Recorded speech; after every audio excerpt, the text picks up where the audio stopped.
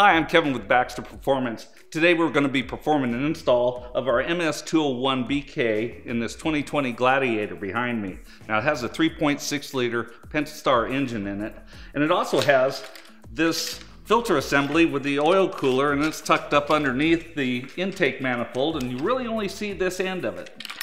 Um, what happens with this is it totally drains out. I mean, every time you stop your engine, after about 30 minutes, it's gone.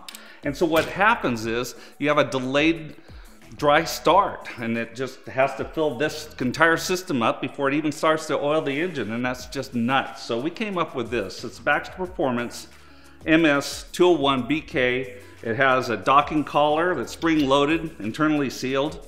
It also has a threaded cleat to lock it rotationally to keep it from backing out when you're installing the filter or removing it. It also has an air valve that actually purges the oil out of the filter before you remove it so you don't make a big mess. Also has nice little check valve and that's the magic of this piece is because along with the spin-on filter that has an anti-drain back valve and also a check valve on the outflow side it retains all the oil in the system up on top so it's ready to go as soon as you start your engine.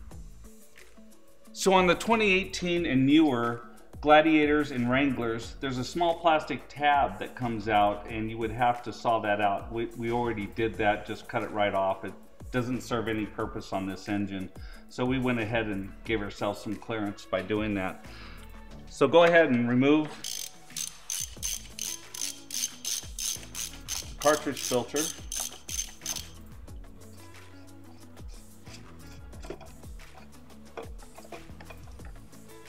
There we go. So prior to permanently installing this device, we're going to leave the O-ring off the body and off of the tip. We need to insert it and find out where our alignment is for our porting. So once you screw it all the way in, and you can do most of this by hand, we'll find out where it comes to a dead stop and we can choose which port we'll use as a result. Now they're 180 out and we can see that we have a port exposed right here. So we know that our cleat is going to be tightened from this bottom section here and we're going to probably back it off about 5 to 10 degrees to be able to insert our air valve. And we're going to plug the other side. Now, to make that easier, we're just going to go ahead and remove it and install the plug once removed.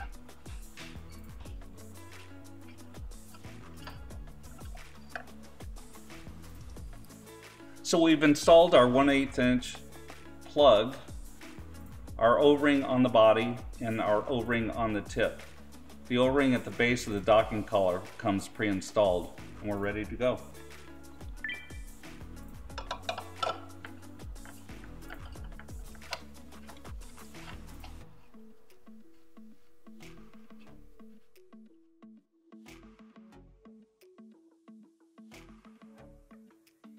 Now when tightening, you're going to need a 1 and 1 8 inch deep socket to actually match the hex profile on the adapter itself and run it in. Now you want to pre-oil your O-rings prior to install as well. And then we back up to where our opening is where we want to have our air valve, and that's going to be right there. And now using a 532 Allen wrench, go ahead and lock that threaded cleat in place. And this will keep it from rotating. Okay, it's down there solid. So now we're going to install a 1 8 inch 90 degree fitting to be able to access our air valve easier on this particular application. Now this fitting comes in the kit and is an option to be used.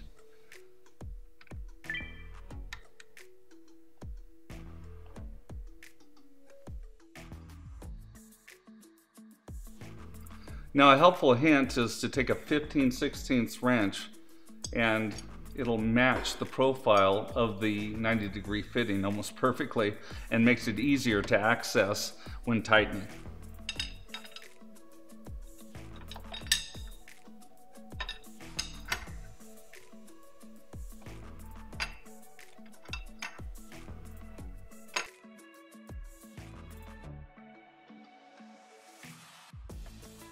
Now with a 7 16 socket, we're going to go ahead and install our uh, air valve.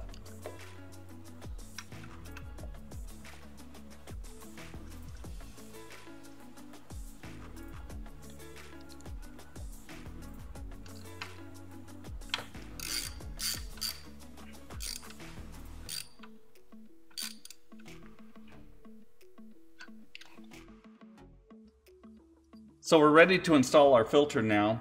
It's uh, a filter with 22 by 1.5 threads. Uh, and you want to also pre-lube um, the filter gasket prior to install.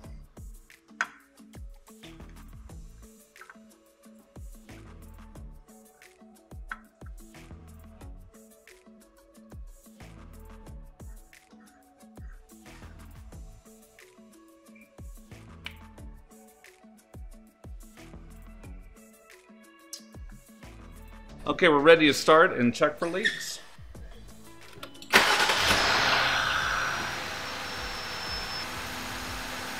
Okay, that looks good.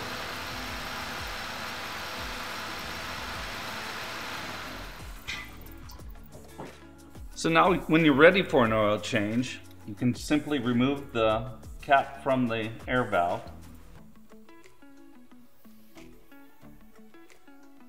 and with compressed air, simply hold it down for three, four seconds, and that'll blow down the system adequately to be able to remove your spin-on filter. And as you can see, no oil spills out, which makes for a very, very clean filter change. As you had before, but now we have the advantage that we're keeping oil in the upper system and not having to make up for it with every start. So now this installation can be utilized on a number of FCA vehicles from the Dodge Caravan with a 3.6 liter or the Ram 1500 with a 3.6 liter. Now it also works with a 3.2 liter variant of this engine. So keep in mind, it's not just for Gladiators, it's not just for Wranglers, it's also for uh, any vehicle in the uh, FCA line that utilizes this engine. Thank you.